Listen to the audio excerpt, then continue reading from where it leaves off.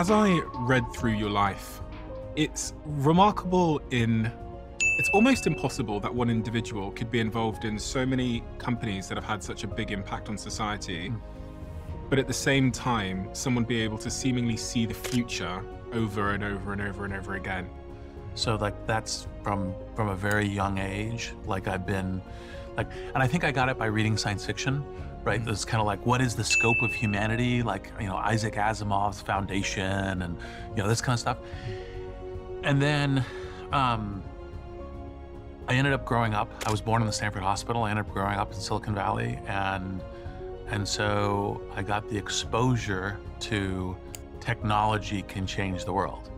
And so focusing on thinking about, you know, kind of this intersection of humanity and technology. And of course, obviously science fiction has some play to that too, although most of the technology in science fiction is just fiction.